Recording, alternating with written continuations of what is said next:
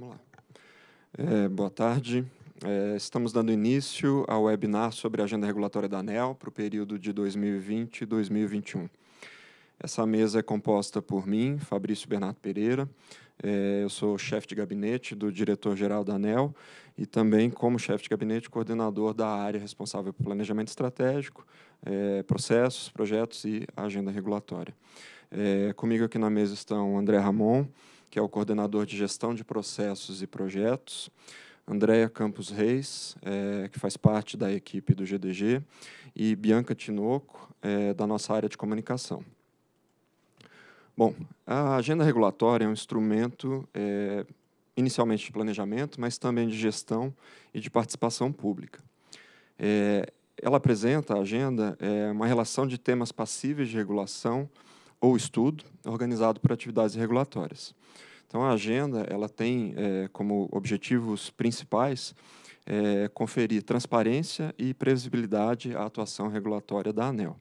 A gente é, faz esse processo é, de elaboração da agenda desde 2010, e este ano, quando a gente, é, em determinado momento, né, é, numa reunião interna, identificamos uma necessidade é, de aprimorar né, a ferramenta da agenda regulatória, é, e aí iniciamos, demos início a esse processo, né, junto com, com é, o André vai falar um pouco mais, né, mas tanto fazendo benchmarking com outras agências, conversas com as áreas de regulação, é, instituições que participaram da última formulação da agenda, e para então agora dar início à elaboração, né, à discussão da agenda é, 2020-2021, é, a gente é, é, realizou a abertura né, da consulta pública 22-2019. Ela está aberta pelo período de 30 dias, desde o dia 16 de setembro. Hoje aqui, o objetivo desse webinar é, é, apresentar essa nova metodologia, falar um pouco de como é que foi essa, essa discussão, quais são as, as novidades e, principalmente, esclarecer como a sociedade, como os interessados vão poder contribuir para a elaboração dessa agenda, Agenda 2020-2021.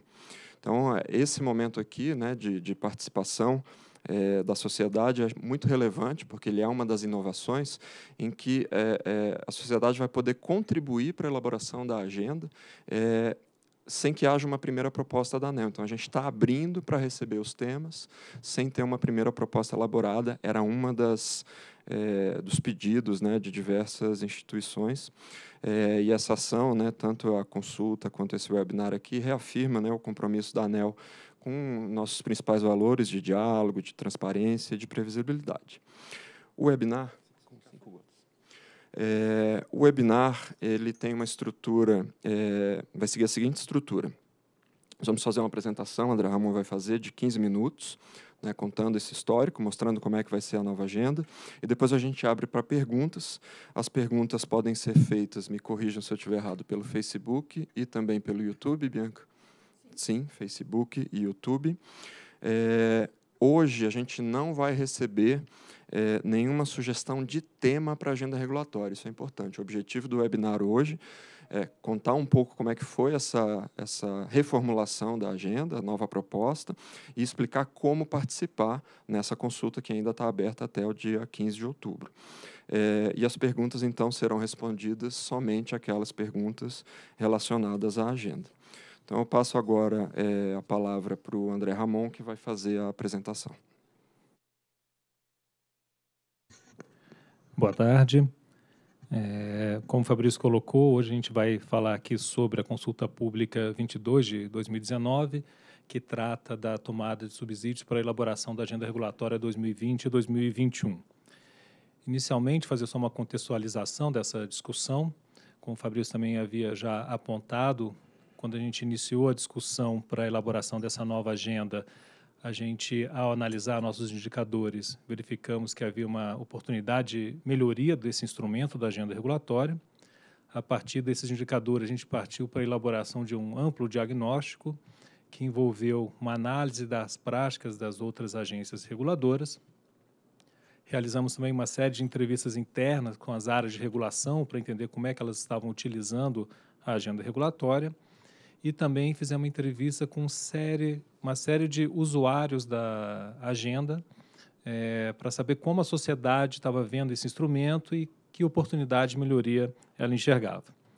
A partir desse diagnóstico, a gente elaborou uma proposta de uma nova agenda regulatória para a ANEL, é, e que é o que eu vou entrar um pouco de detalhe agora no próximo slide. Bom, primeiro é o que orienta a agenda regulatória. É, primeiro é o foco na sociedade. A agenda até então vinha tendo um papel duplo, tanto de comunicação com a sociedade, como também de gestão interna das áreas de regulação. A gente verificou que é o mais adequado é que a agenda tenha esse viés principal de comunicação com a sociedade. A questão da gestão interna deve ser trabalhada por meio de um outro instrumento. E, além disso, pela conversa que tivemos com, a, com, os usuários da agenda, a gente viu que o principal valor que eles esperavam ter nesse instrumento era a previsibilidade.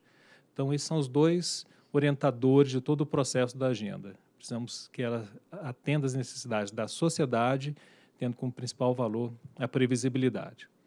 A partir desses orientadores, a gente decidiu é, manter duas características que a agenda já possuía. Uma, seu horizonte bienal, a agenda sempre enxerga dois anos para frente. E o segundo, trabalhar com o mecanismo de agenda deslizante. Ou seja, todo ano nós elaboramos uma agenda regulatória com horizonte dois anos para frente. Em 2018, elaboramos a agenda 2019 e 20 Agora, em 2019, vamos elaborar a agenda 2020-21 e depois em 2020 a 21-22. Com isso, a gente tem sempre à disposição da sociedade esse horizonte de dois anos para frente daquelas atividades que a ANEL pretende regular. Mas as outras características, além dessas, foram diversas, tivemos diversas inovações. Primeiro, na própria organização da agenda. Ela passa agora a ser agrupada por macrotema regulatório, a ideia é que no futuro a gente evolua para temas regulatórios, mas nesse primeiro momento por macrotema. Então a gente vai ter um agrupamento das atividades regulatórias pelo segmento de distribuição, geração, tarifas, é, aqueles temas que são transversais, que envolvem mais de uma é, mais de uma dimensão. E além disso, a gente também promoveu uma simplificação dos produtos apresentados. A agência, a agenda regulatória possuía mais de uma dúzia de produtos é, discriminados é, é, no, seu, no seu corpo. É, boa parte disso era por conta daquela visão de gestão interna que a gente precisava ter das, das diversas superintendências da ANEL, mas isso, apesar de facilitar a nossa gestão interna, trazia uma grande dificuldade para a sociedade, porque eram muitos produtos, era muito detalhado. Então, a gente resolveu focar naqueles produtos que realmente interessam à sociedade, basicamente aqueles relacionados com os momentos de participação pública e deliberação do ato pela diretoria. Uh, também eh, as atividades foram organizadas de uma outra forma. Aquelas atividades que possuem entrega no primeiro ano, elas vão estar discriminadas, vão ter seu cronograma discriminado na agenda regulatória são aquelas que a gente entende que são atividades determinativas, que vão ter que ser, vão estar bem detalhadas dentro da agenda, mas aquelas atividades que só vão ter início a partir do segundo ano, elas são apenas relacionadas na agenda regulatória e quando da elaboração da agenda seguinte é que elas vão ter o seu cronograma detalhado. Além disso, a gente tentou ressaltar um pouco mais o caráter estratégico da agenda regulatória, fazendo a indicação das atividades prioritárias da agenda. Então, hoje a agenda vai ter uma série de atividades que são aquelas principais, que são classificadas como prioritárias, as demais serão atividades ordinárias. É, e nos momentos de revisão da agenda, quando isso se fizer necessário, a ideia é que se alguma atividade tiver que ser impactada, essas atividades serão aquelas consideradas ordinárias. Prioritárias, a princípio, são aquelas que devem ter continuidade. E uma, um outro, um outro ponto a ser destacado são as revisões da agenda regulatória. Uh, elas continuam sendo é, possíveis. Vamos ter uma revisão ordinária semestral, se necessária, mas vamos ter também revisões extraordinárias a qualquer momento, por deliberação da diretoria. E essa revisão é uma decisão direta do colegiado da, da ANEL. Ela não passa mais necessariamente por processo de participação pública. A ideia é que a gente consiga ter essas alterações de forma mais ágeis, mais dinâmicas, para que a gente consiga comunicar à sociedade eh, de forma tempestiva aquilo que a ANEL está trabalhando.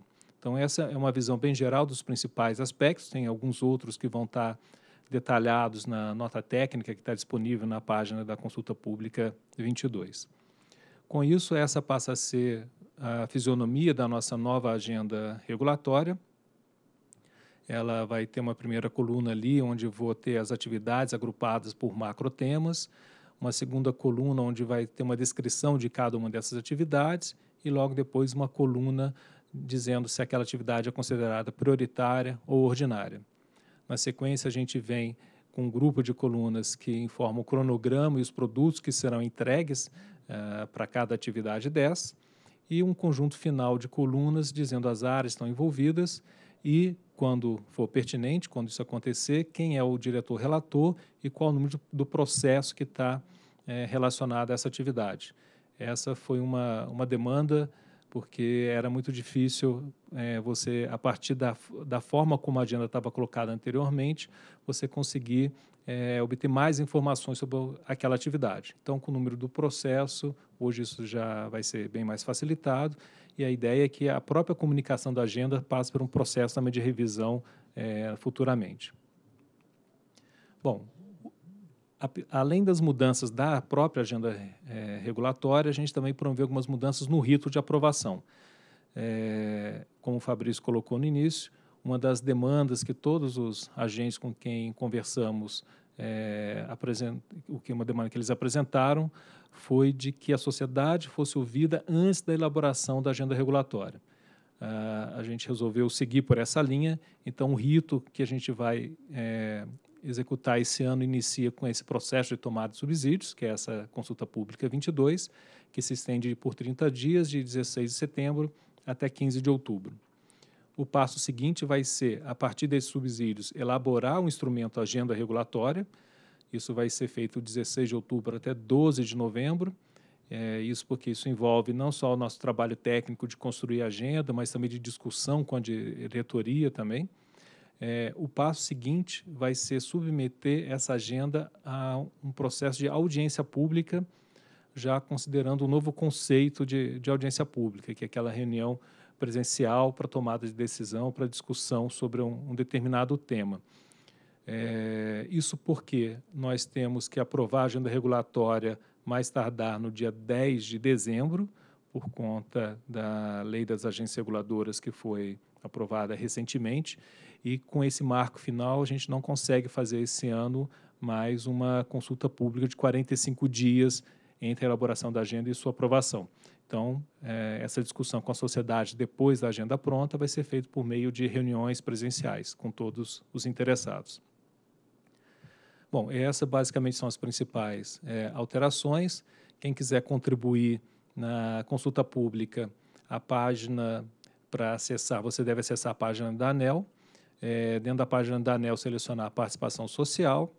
Dentro da participação social, selecionar o link das consultas públicas e então acessar a consulta pública 22 de 2019. Bom, é, para finalizar essa parte da apresentação, a gente vai falar agora sobre o formulário a ser preenchido. Como o Fabrício colocou, é, a nossa ideia com essa consulta pública é receber da sociedade os temas que julgam importantes para compor a próxima agenda regulatória.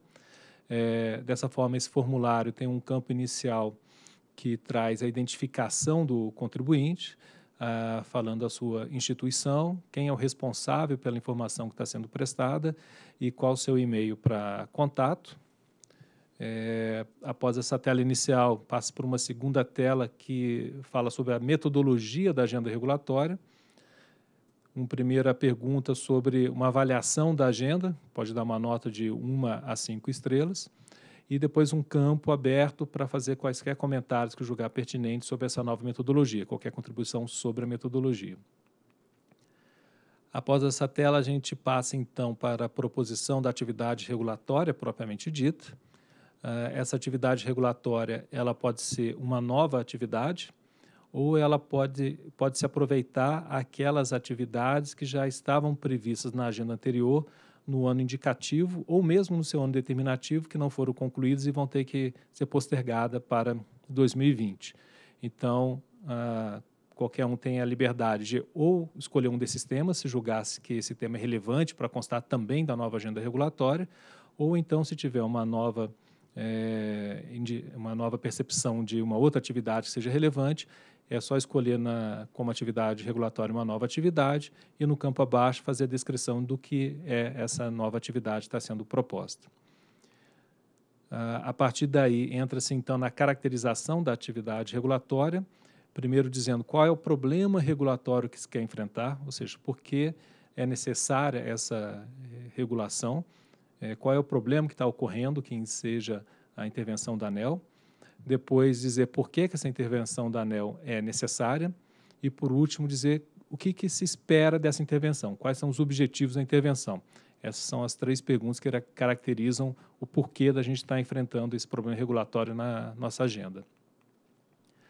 Na sequência, para a gente poder partir depois para um melhor agrupamento da agenda, é necessário identificar o tema que vai ser discutido, distribuição, geração, tarifa, comercialização e mercado, ver qual tema melhor se adequa à atividade regulatória que está sendo proposta, como se classifica essa atividade regulatória, se ela decorre da, de alguma obrigação, de, algum, de alguma lei ou decreto, de algum comando é, legal, se ela está vindo regulamentar uma lacuna regulatória, algo que ainda não tinha sido enfrentado pela ANEL, ou então está sendo proposto o aperfeiçoamento de uma regulação vigente.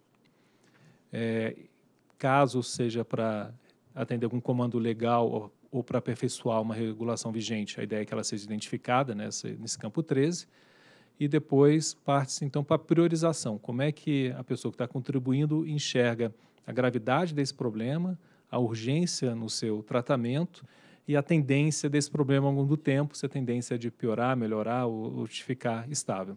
Essas são as informações básicas para cada atividade regulatória que devem ser fornecidas.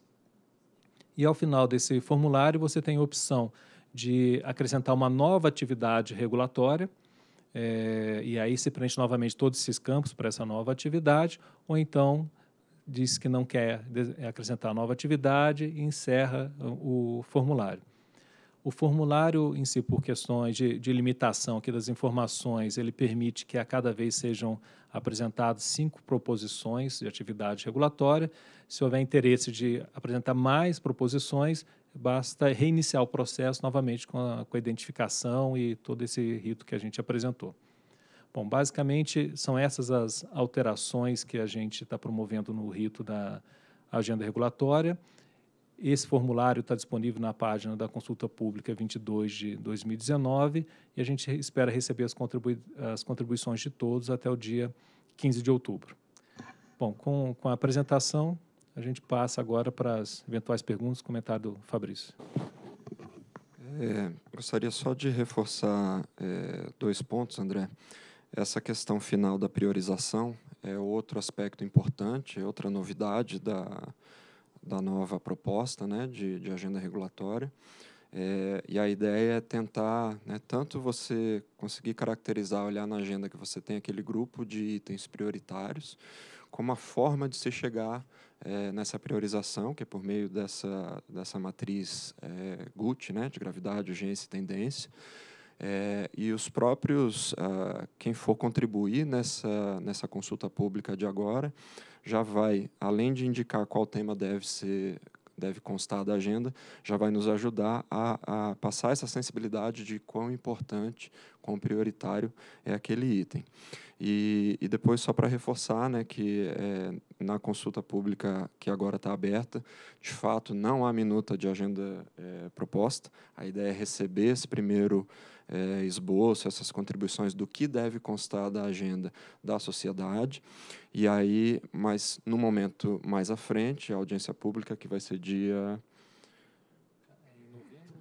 14 de novembro, salvo engano, é, nessa audiência pública, que era a nossa antiga sessão presencial, aí sim a gente vai ter a 14 de novembro a gente vai ter a minuta né, de agenda regulatória elaborada internamente com as contribuições da sociedade para crítica, para sugestões de, de alteração.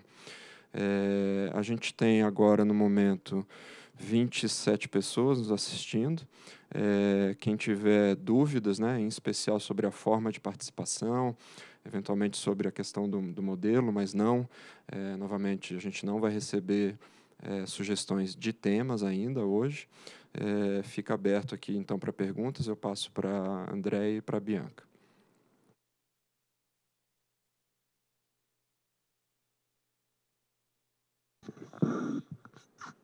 Bom, enquanto a gente aguarda um pouquinho uh, os nossos espectadores fazerem as perguntas deles, né? Como a gente está com um delay no vídeo, é, eu queria fazer a pergunta para vocês: é, o que, que, motivou a mudança no processo de elaboração na, na agenda regulatória e quais foram os órgãos é, nacionais ou internacionais que serviram de referência para essa mudança?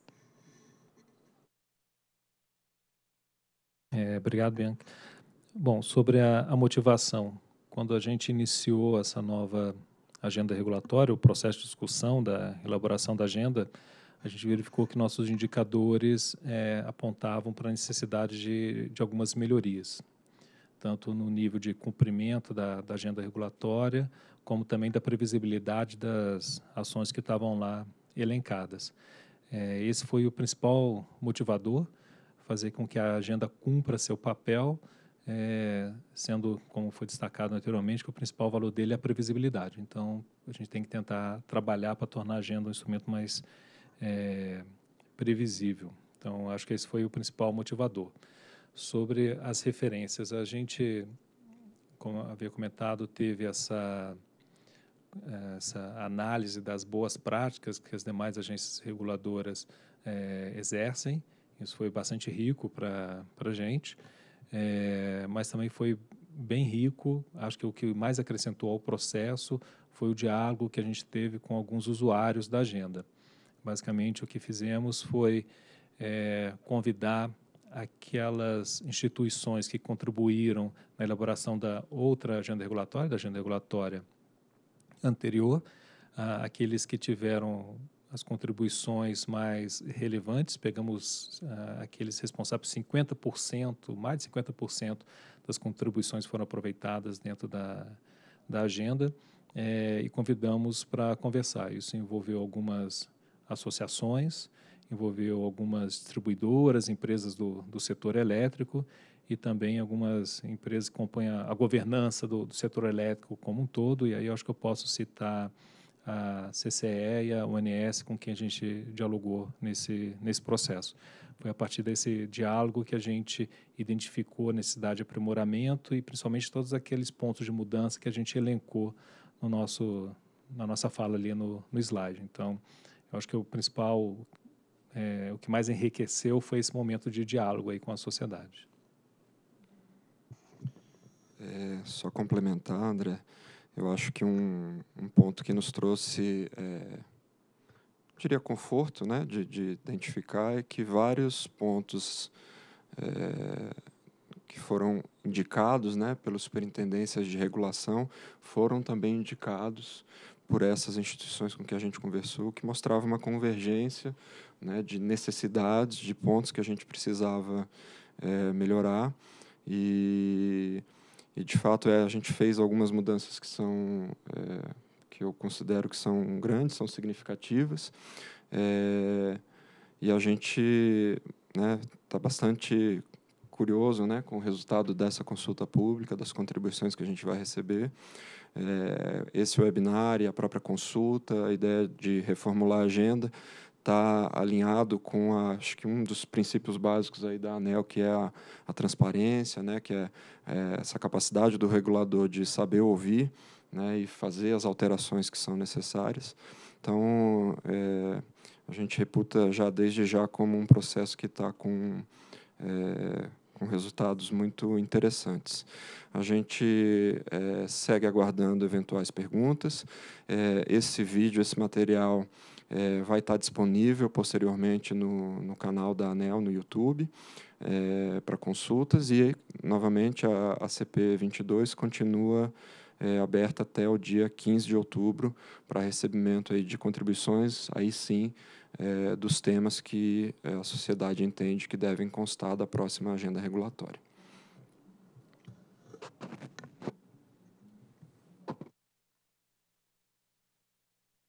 Tenho mais uma questão. A gente tem tido muitos comentários nas redes sociais a respeito é, da próxima abertura, né, da abertura que está bastante próxima da segunda fase da audiência número 1 de 2009, relativa à geração distribuída.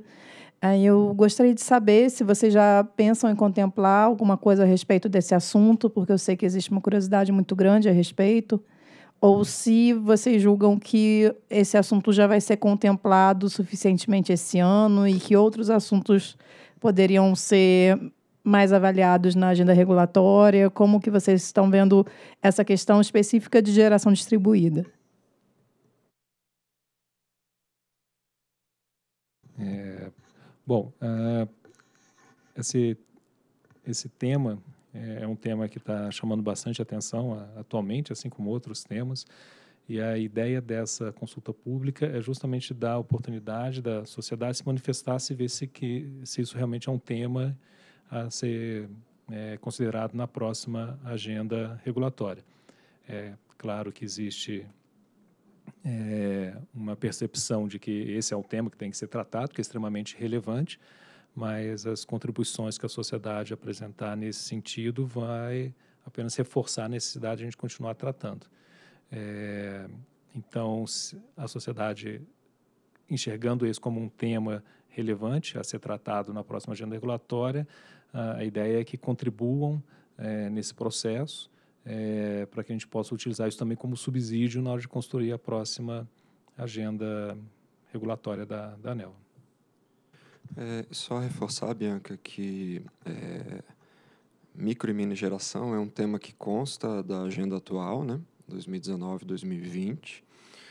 É um processo que já vem aí de bastante tempo, né? Já foram realizadas diversas audiências públicas, primeiro para recebimento de subsídios para elaboração da, da análise de impacto regulatório, depois a audiência pública da própria IR, e agora a gente já está indo numa fase mais final. É, a perspectiva é que essa norma esteja é, pronta para ser aprovada pela diretoria no começo do ano que vem, então acredito que sim, ela deve, tem que aparecer na agenda 2020-2021, na sua etapa final de é, talvez análise de contribuições e aprovação da diretoria.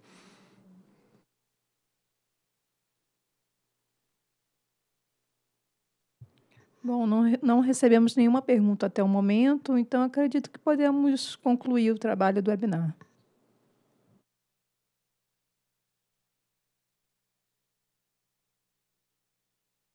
Bom, é, Acho que não tendo né, é, nenhuma dúvida a ser esclarecida, a gente gostaria de encerrar, agradecer aqueles que participaram, assistiram a, é, a esse webinar.